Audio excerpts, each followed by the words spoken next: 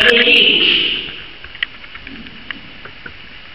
Nem vagyunk mindig ilyen.